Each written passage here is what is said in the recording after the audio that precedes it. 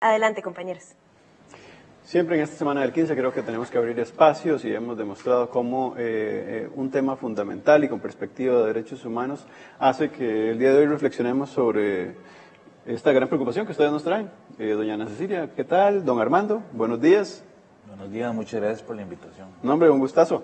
Eh, cuéntame, ¿qué, ¿qué, es la preocupación que ustedes traen en sus espaldas y sobre todo un poquito, si me pueden dar una reflexión también de la resolución el día de ayer de los tribunales, específicamente en el caso de la huelga, donde demuestra que ustedes parece que llevaban razón? Sí, correcto. Pues en primer lugar, muy, muy agradecidos con este espacio, este, una mañana muy alentadora para nosotros porque a veces hacemos trabajo de hormigas trabajo importante para el pueblo de Costa Rica. El tema de los derechos humanos, la violación a los derechos humanos es un tema país y no tenemos a veces formas de, difundir nuestro trabajo. Este, la gran preocupación nuestra es que durante los cuatro meses que se realizó la huelga, que todos conocemos, este, donde hubo participación de amplios sectores de la población, se dio un proceso de criminalización de la protesta social se dio en las calles todo un tratamiento inadecuado, violatorio de los derechos humanos para nosotros, porque lo que el pueblo de Costa Rica estaba expresando era la inconformidad al plan fiscal, al famoso combo fiscal, que hoy es ley de la República y que a todas luces el pueblo de Costa Rica con cierto nivel de educación intuyó, analizó, estudió los sindicatos, el sector magisterial, que fue uno de los más entregados en este movimiento, este, las repercusiones que iba a tener este proyecto de ley, que repito, hoy es ley de la República. Nosotros, como organismo de derechos humanos y en colaboración muy cercana y de lleno con el sindicato de la Universidad de Costa Rica, el CINDEO, lo que hicimos fue una investigación, un monitoreo del comportamiento que se dio en las calles, en las diferentes este, etapas de la lucha, y por eso tuvimos el gran aporte del compañero Armando Navarro, que hoy representa el sindicato y también representa nuestra organización.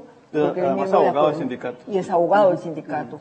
Yo me presento como una compañera junta directiva, la presidenta de la Asociación Costarricense de Derechos Humanos, pero a decir verdad, el trabajo conjunto, el trabajo y la dirección del informe y, que, presentamos ante la ONU lo hizo fundamentalmente el compañero Armando, con el apoyo de, varios de nosotros en el terreno. Don Armando, yo todavía me quedo con las ganas. Eh, Primero, dígame si le alienta la resolución judicial del día de ayer a, esta denuncia que ustedes hacen formalmente.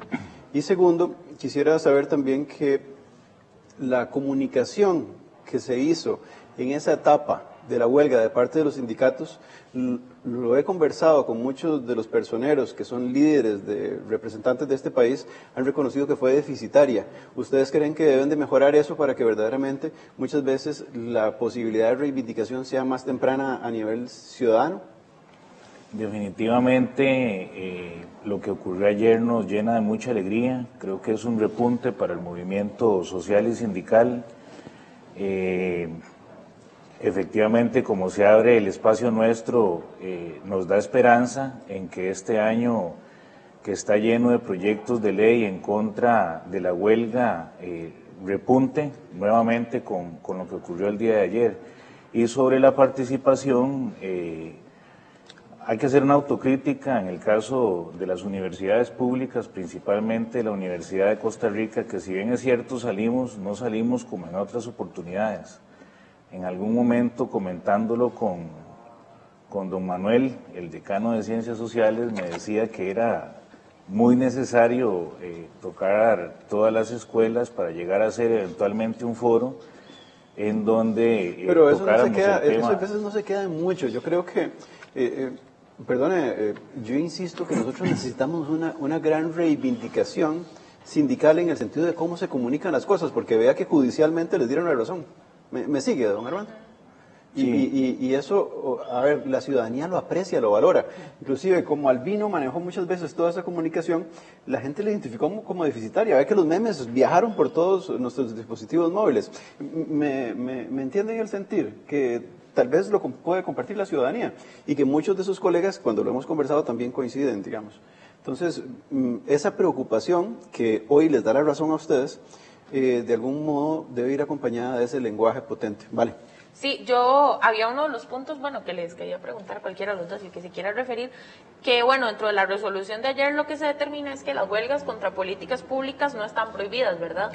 Entonces, bueno, mi pregunta, ajá, mi pregunta era la siguiente, este, bueno, entonces sabemos cómo está el tema de los servicios esenciales que la huelga haya afectado la prestación de la alimentación, por decir así, de los chicos que asisten a las escuelas y los colegios que no tienen otra forma de alimentación, podríamos estar diciendo que entonces se afectó un servicio esencial o no. De acuerdo al tribunal no, pero bueno, ustedes me pueden decir. Y, vea que esa pregunta que plantea Valeria es muy, muy importante porque casi que les dice, desmenúcenos en la denuncia también. Entonces tal vez si pueden explicar esa denuncia paralelamente a eso. Bueno, yo lo que he sabido es que los sindicatos en un momento oportuno respondieron que no era resorte del personal docente ni directamente de las escuelas, porque más bien desde el gobierno hubo, afectaciones directas al programa de, comedores. Y en algunas escuelitas, incluso los maestros se organizaron para suplir un poco los alimentos, este, hasta casi desde el bolsillo propio. Hay mucha sensibilidad y es una cuestión muy linda y que he dicho que ustedes hacen estas preguntas, porque yo creo que los maestros de este país eh, eh, no solo tienen esa gran mística, ese gran profesionalismo, sino que una profunda sensibilidad por el trabajo que hacen. Este, yo me siento muy orgullosa del sector magisterial, eh, demostrarlo una vez más este, en las calles defendiendo lo que sabíamos que había que defender, pero a la vez estaban conscientes y en comunicación y atendiendo algunas tareas. No abandonaron su recinto. Hubo maestros que incluso se quedaron y, también manifestaban. Y, esa mística fue muy importante. Tal vez don Armando, que digamos que se ha encargado de la parte jurídica para que nos ayude con esa respuesta que planteaba ahora Valeria, eh, ¿cómo está conformada la denuncia y de qué se trata? Principalmente tiene tres puntos. Eh, hemos hecho... Eh, varias semanas de investigación previas antes de plantearla, se planteó el 14 de enero, eh, con un cierre a eso del 21 de diciembre. Eh, básicamente el primer punto se refiere a utilización de la fuerza pública de manera innecesaria y gasear a las personas de manera innecesaria en algunos plantones en diferentes lugares del país.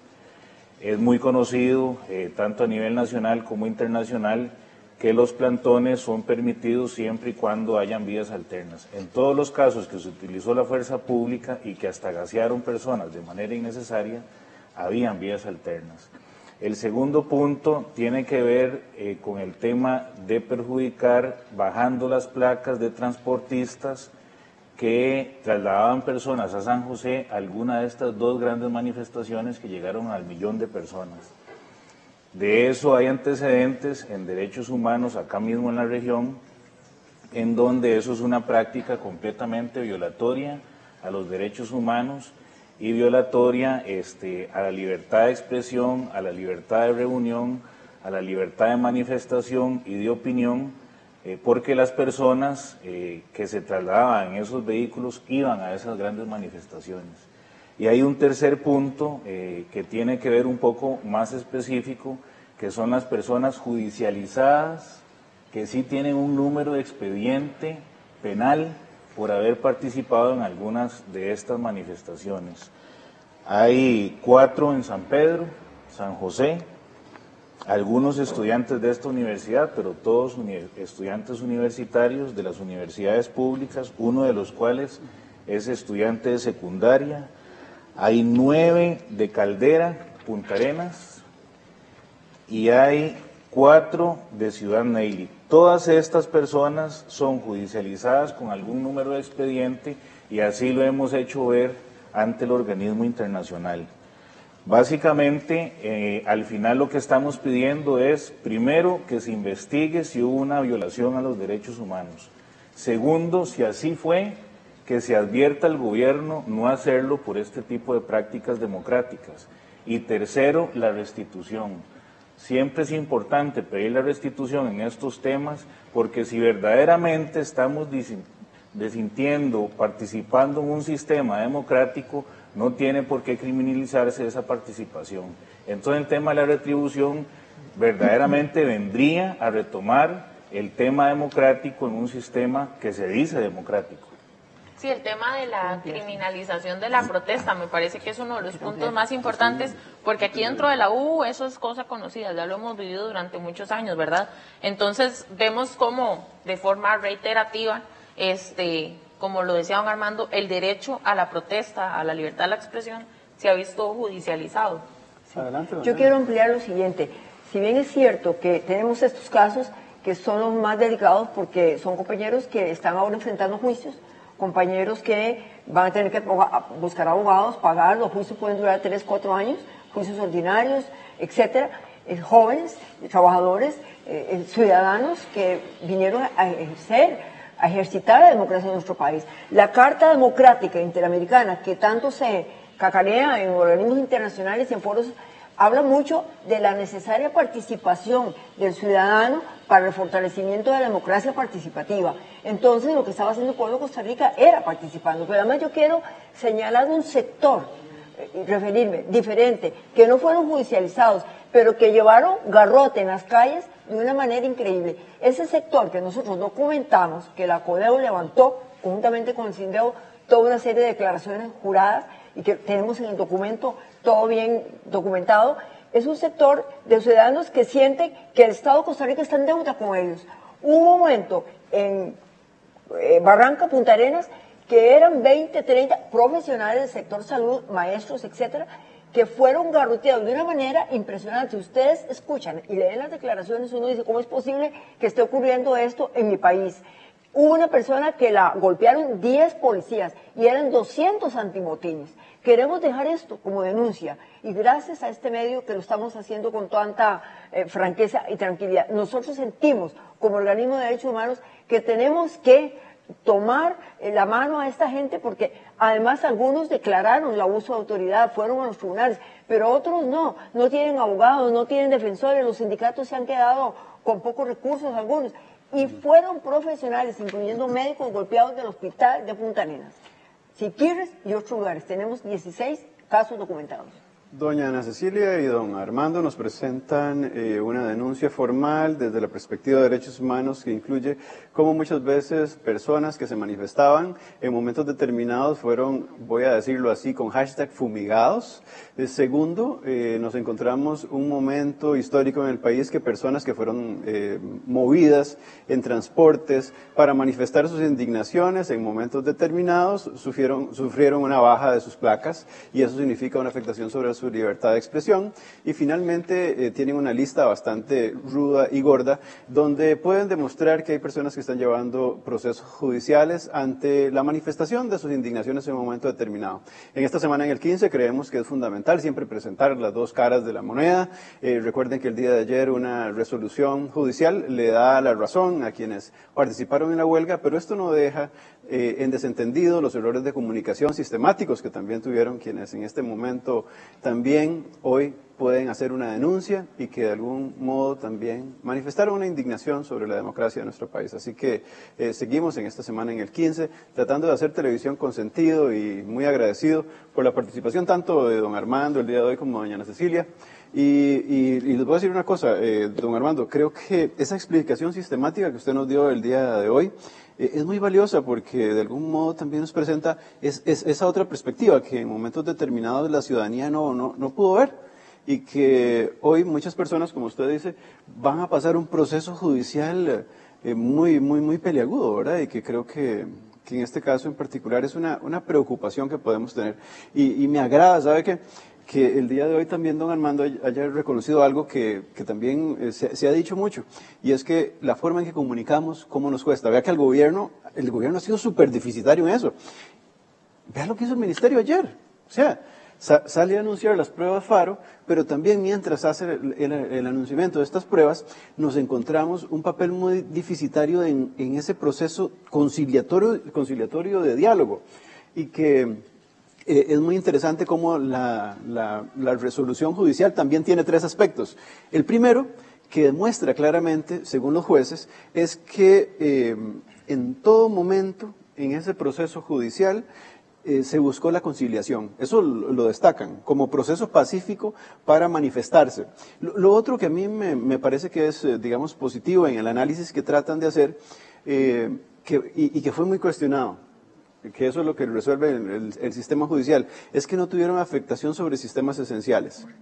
Pero lo más desafortunado que se pudo haber dicho fue que un sindicalista, líder de este país, dijese que, que la educación no era fundamental para la niñez y que nosotros desde acá, desde esta semana en el 15, también lo reconocemos y me, alegra que doña Ana Cecilia, que es una mujer de derechos humanos, también le indigne, ¿verdad? Porque de algún modo representa una, una de esas cosas que nosotros hemos vivido, ¿vale? ¿Verdad? Sí, de hecho, eh, por eso fue la pregunta que yo les planteé a ustedes, porque...